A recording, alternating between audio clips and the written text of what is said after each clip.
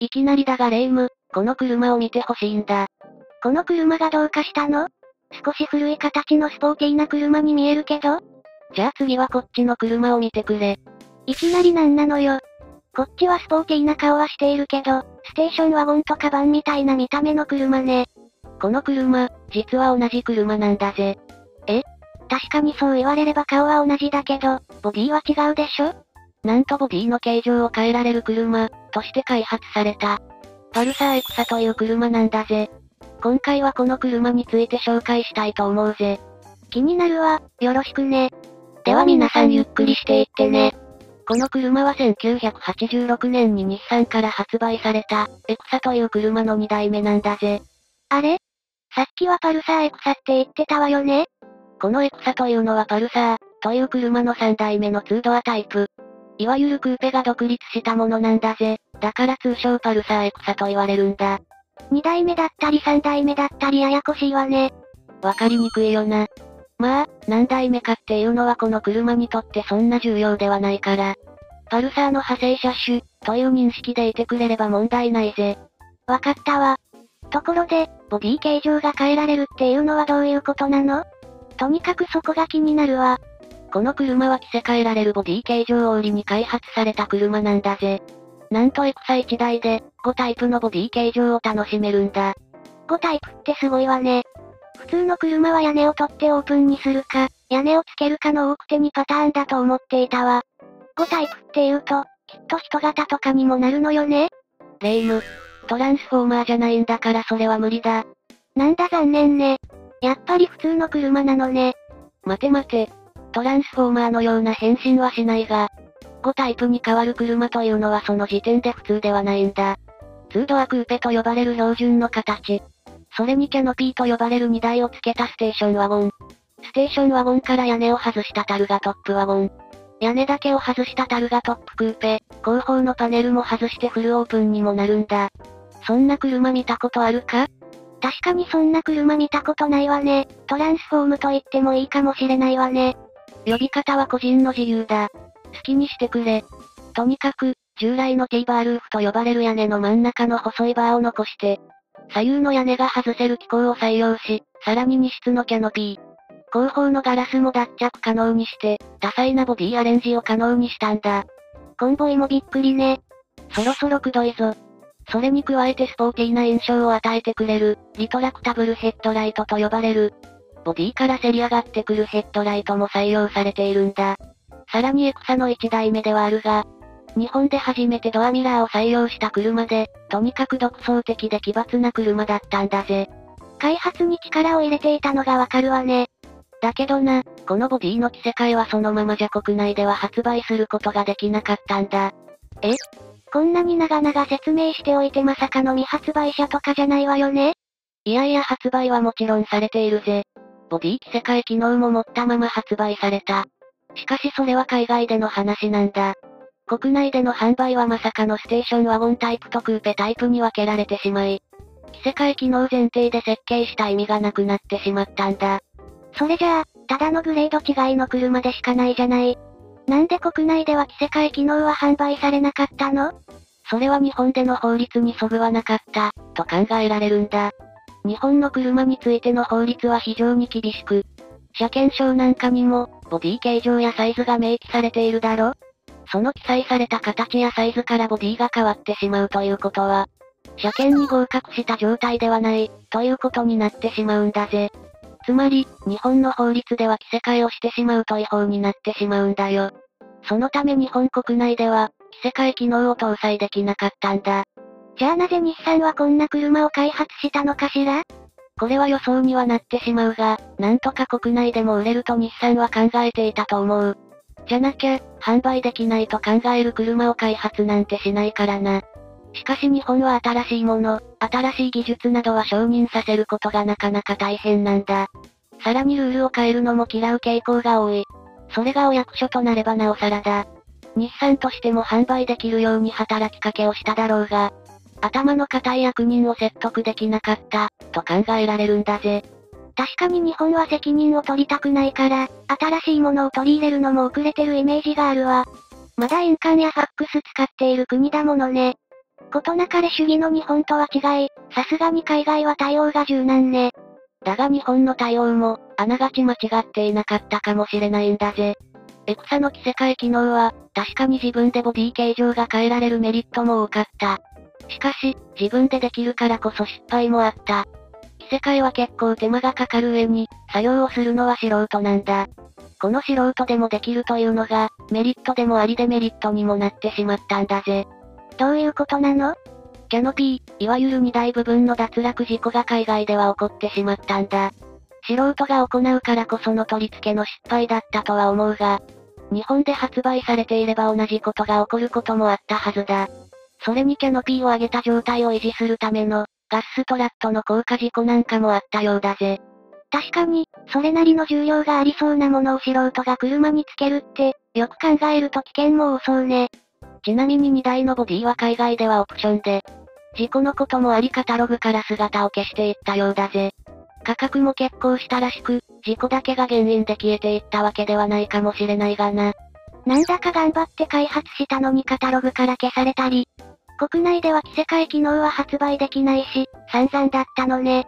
着せ替え機能がないエクサなんて、くれないの豚状態よね。どういう意味だ？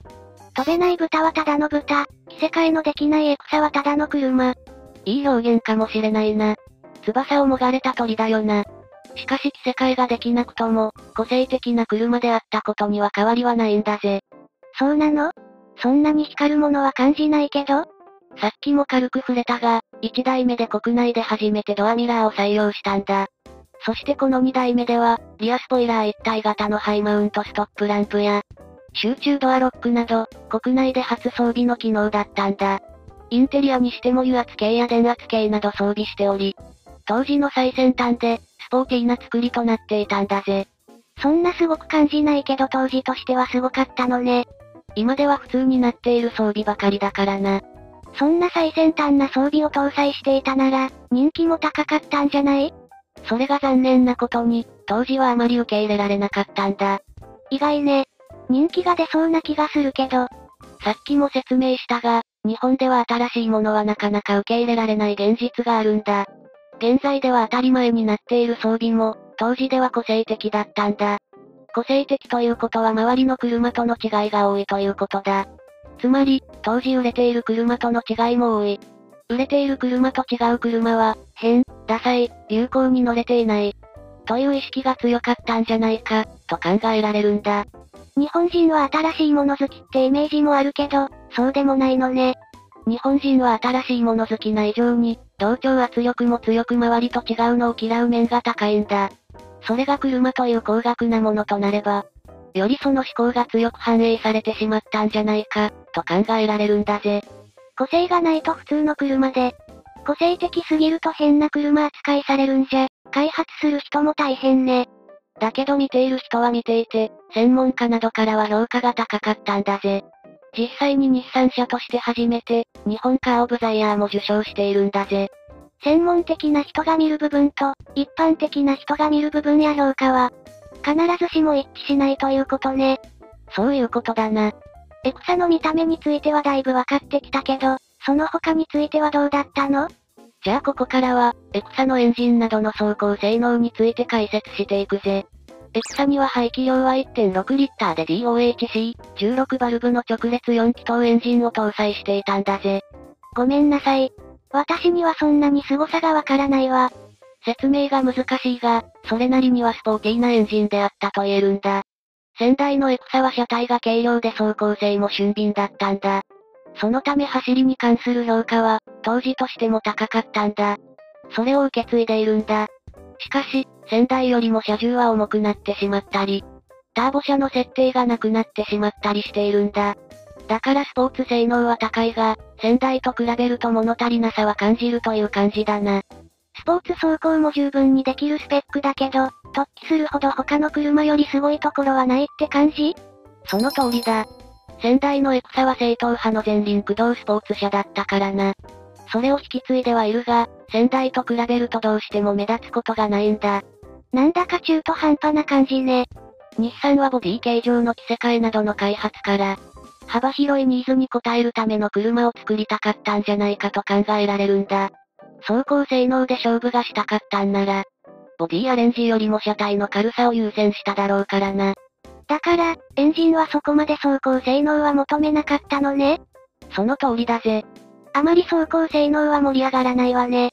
そうだな、特別優れているところも特別悪いところもない。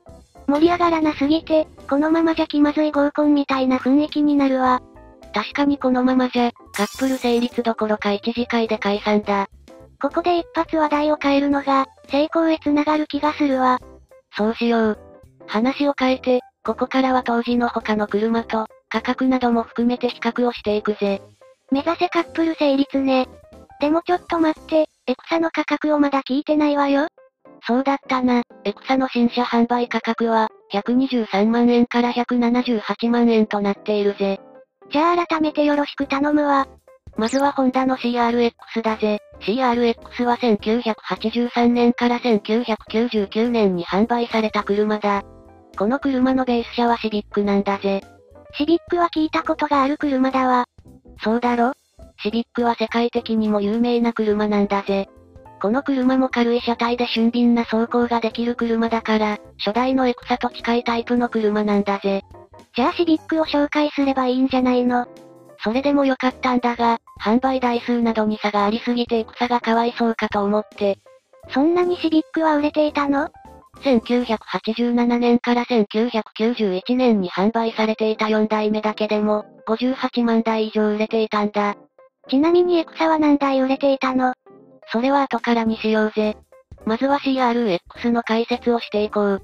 楽しみは後に取っておくタイプなのね。ここで数字を出すと、ライバル車とは程遠いと思ってしまうからな。ちなみに、CRX の販売台数は、1987年から1992年まで販売された2代目で、7万台ぐらいになっているぜ。エンジンもスポーティーな作りとなっており、VTEC と呼ばれる可変バルブタイミングリフト機構が搭載された、上位モデルも存在したんだ。この機能はバルブリフトの高さ、バルブタイミングを可変させることで、ガソリンを爆発させる際の空気とガソリンを最適なタイミングで入れたり、燃え尽きた空気を最適なタイミングで排出するための機構で、エンジンの抵抗をできるだけ減らし、パワーも発揮させ燃費も向上させる機能なんだ。似たような働きをする機能はトヨタでは VVT があるが、採用されたのは1995年と遅く。ホンダは実用化は早かったんだぜ。すごい装置を搭載した車だったのね。それでもシビックの販売台数と比べると霞む部分があるわね。そうかもしれないが、国内ジムカーナで活躍したり、鈴鹿サーキットでのレースの先導車。いわゆるマーシャルカーとしても使われるぐらいには優れた車だったんだぜ。スポーツ性能は高かったってことね。その通りだ。ちなみに販売価格は、122万円から170万円となっているぜ。価格帯は大体エクサと同じだったわけね。じゃあ次はトヨタの MR2 を紹介していくぜ。よろしく頼むわ。MR2 は1984から1999年に販売された、2ドアクーペの車だぜ。年式的には1984年から1989年に販売された初代が近いから、初代について詳しく解説するぜ。この車もリトラクタブルヘッドライトや T バールーフ、ハイマウントストップランプが採用され、エクサとの共通点も多い車なんだぜ。そうね、でもエクサよりも走りにこだわってます、という意気込みを感じる車だわ。この車は国内のみならず北米でもカーオブザイヤーを受賞していて、国内外でそのデザインを認められた車だからな。また、エンジンに関しても、スーパーチャージャーと呼ばれる、エンジンの回転を利用した吸気システムを採用しており、走りも申し分なかったんだぜ。なんだか高そうな車ね。実際、新車価格は159万円から274万円と、エクサ、CRX と比べてだいぶ高い値段だったんだぜ。販売数は4万台ぐらいで CRX に負けてるな。しかし、それも価格の差でしょうがなくも思えるな。他車種の新車販売数は分かったから、そろそろエクサの販売数も教えてよ。そうだな。エクサの販売数はなんと、なんと1万台程度なんだ。え全然売れてないじゃない。そうなんだ。エクサはヒットした車とは全然言えない車だったんだぜ。なんでそこまで売れなかったのかしら？それはやっぱり、着せ替え機能が搭載できなかったことが大きいはずだ。エクサは着せ替え機能前提で開発された車なのは説明しただろ？つまりバン、ステーションワゴンとして販売しても、積載性や使い勝手は普通のバンなどに負けてしまう。そして、クーペとして販売しても走行性能でも負けてしまう。さらに価格に関しても特別安いわけでもない。どんな使い方も想定された車は結局、どんな使い方でも中途半端な性能となってしまったんだ。なんだか非常に残念ね。まだ着せ替え機能があればもっと売れたでしょうに。しかし、そうとも言い切れないと思うぞ。